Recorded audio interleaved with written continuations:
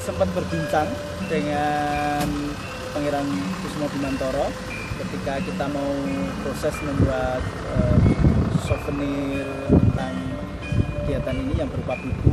Itu ada profil beliau. Kita tanya-tanya eh, kira-kira gimana sih kemarin kisah bertemunya mereka? E, ternyata mereka berdua itu teman sejak SMP e, keduanya berasal dari SMP Negeri 5 Yogyakarta. Kemudian bertemu lagi di SMA Negeri 5 Yogyakarta. Lah e, saya mendapat mendapat apa e, informasi dari Pangeran Suryo itu ya mereka baru ada ser gitu ya orang Jawa. E, sering ati itu e, justru malah di jelang lulus jelang lulus SMA ternyata mereka baru tumbuh tumbuh perentuling asmoro gitu ya. Itu di, di akhir SMA hingga detik ini e, kayaknya mereka menjalani waktu pacaran atau e, perkenalan itu yang cukup lama ya. Kayaknya lebih dari empat tahunan lah ya.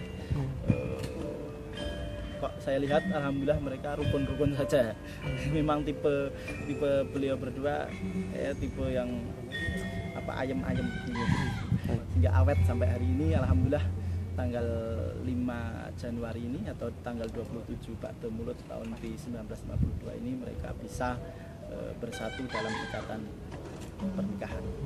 Pesan khusus saya kira e, itu dikonfirmasi sendiri ya kepada sampean dalam.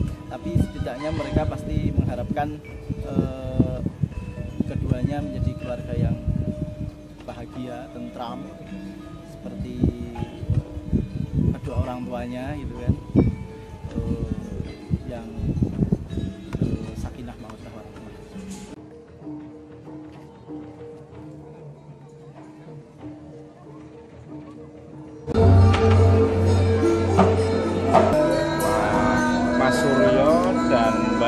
Sita. Sita. Sita. Sita.